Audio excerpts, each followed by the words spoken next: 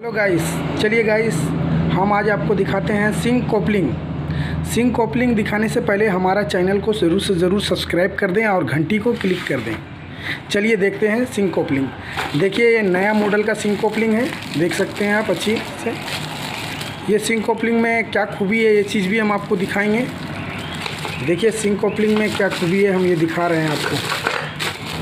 Plastic से निकाल रहे हैं। देखिए ये सिंक कपलिंग में खूबी क्या है, ये चीज़ देखिए। देखिए ये सिंक कपलिंग में, देखिए एक ढक्कन ये दिया हुआ है किनारे किनारे पूरा वाशर दिया हुआ है इसका, देख सकते हैं आप। ये सिंक कपलिंग में देखिए एक बाल्टी जैसा अंदर में दिया हुआ है। ये आपका बाल्टी इसलिए दिया गया है, अगर कचड़ा उचड़ा जाम हो तो इसको निकाल करके आप साफ़ कर सकते हैं इधर। ऐसे डाल करके साफ़ कर सकते हैं और फिर इसमें डाल दीजिए।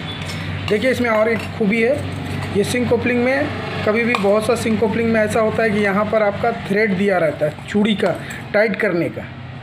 तो यहाँ पर कचड़ा आकर के जाम हो जाता है। जाम होने से आपको सिंकोपलिंग ख़राब लगेगा देखने में, बोलेंगे जाम हो जा रहा, पानी जाम हो जाने से ठीक नहीं लगता है सिंकोपलिंग में।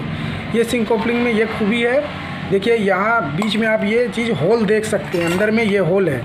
ये देखिए, यहाँ पे एक होल है। ये होल से आपका कचड़ा एक ज़रा रुकेगा ही नहीं। जो भी कचरा बर्तन, धोएँ, खाना, उना, कुछ भी हो, वो चला जाएगा बह करके। ये खूबी है इसमें। और इसमें कुछ ज़्यादा नहीं है।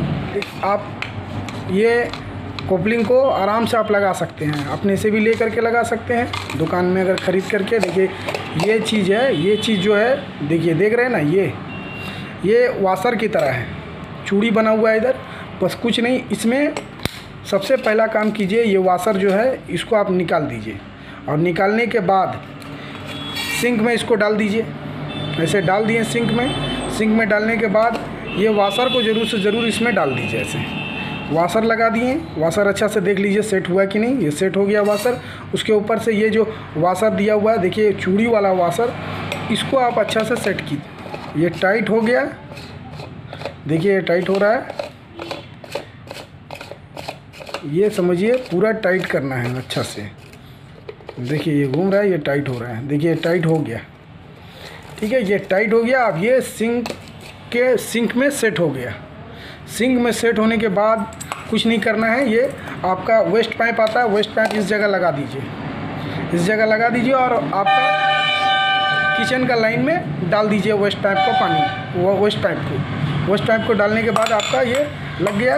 लगने के बाद कुछ नहीं, ये जाली वाला टप है, इसको आप आराम से इसमें डाल दीजिए। और डालने के बाद अगर आप कहीं जा रहे हैं, कहीं पार्टी उटी में जा रहे हैं, चाहे घर बंद करके कहीं रूम कहीं कहीं जा रहे हैं घूमने के लिए, आप आए, आने के बाद खाना का जो भी बर्तन रहेगा, गंदा रहेगा, जो सूख गया है, इसको लगा देने के बाद आपका ये पानी रुक गया नल चालू कीजिएगा, पानी रुक जाएगा, रुकने के बाद आप अपना जितना बर्तन है, बर्तन को आप फुला फुला सकते हैं।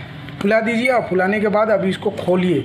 फूल जाने के बाद पानी जितना रहेगा, सिंक में सब सिंक का पानी बह जाएगा। और बहने के बाद आपका बर्तन फिर से साफ़ हो जाएगा बढ़िया से। और साफ़ करके अपना जो भी कचरा होगा इसमें निकलेगा, उसको आप झाड़ सकते हैं अपने टप में टप में डाल डाल सकते हैं ऐसे डाल करके और फिर से इसको लगा दीजिए।